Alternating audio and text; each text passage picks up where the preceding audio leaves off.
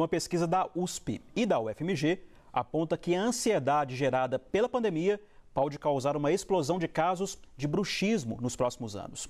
Isso porque uma das principais causas dessa disfunção é o estresse. Foram quatro meses de dores intensas na cabeça e várias idas a especialistas.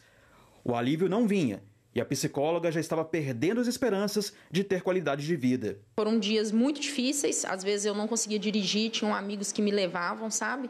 Porque eu falava, vou ficar só sentado porque eu não posso dirigir, porque eu tô com tonteira, não tô bem, não sou de confiança, você começa a se colocar, a perder a sua identidade mesmo, né? Perder o seu eu, a duvidar de tudo que você fazia é capaz. Então foram uma série de processos que eu passei e não foi porque não doía, não foi porque eu não procurei, eu não era paciente que não procurava, eu não era paciente que não corria atrás, pelo contrário, eu acho que eu corri atrás de todos os recursos possíveis a ponto de um dos profissionais falarem comigo.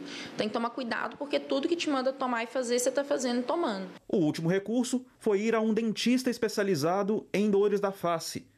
Depois de exames de imagens e análise minuciosa, veio o diagnóstico de disfunção temporomandibular, ou DTM. A placa bucal foi feita sob medida para o uso durante o sono e é parte do tratamento.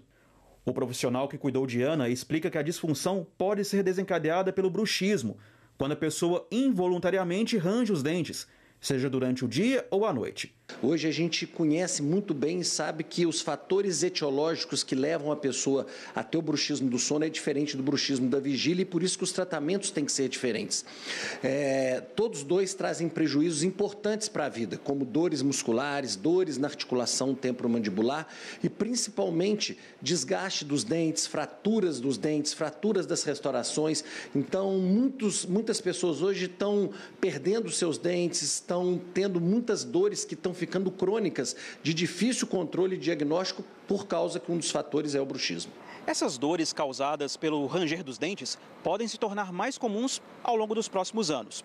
Isso porque as incertezas da pandemia deixaram as pessoas mais ansiosas.